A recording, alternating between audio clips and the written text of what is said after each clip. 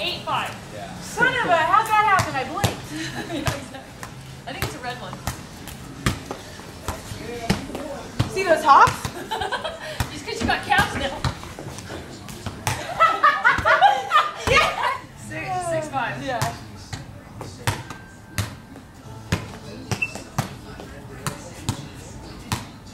Twelve, thirteen.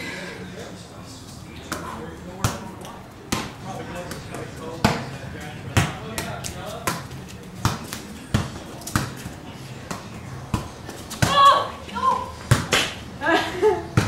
we have to play to the 90 something. Yeah, uh, what the heck happened? Holy moly. 11, 12. 13? 13. Was it 15? Yeah.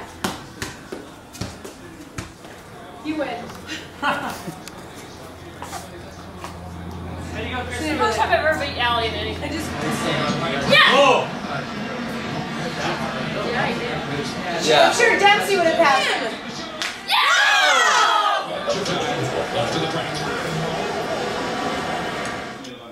Okay, well, final notes on the U.S.'s World Cup.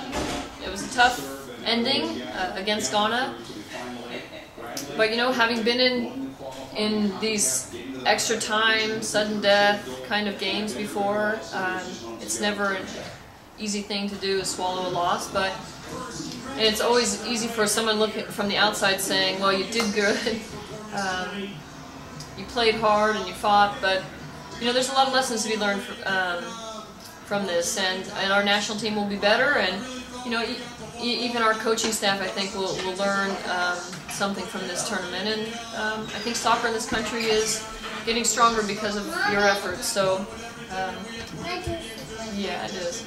So, um, thank you very much to the U.S. team for all that you gave us during this World Cup. It was a great, great World Cup for you and exciting for us as fans. And we still believe in you, and we look forward to seeing you again on the field. Go USA! Yeah. That's our team, no matter what, right?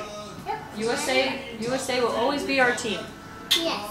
Always be our team.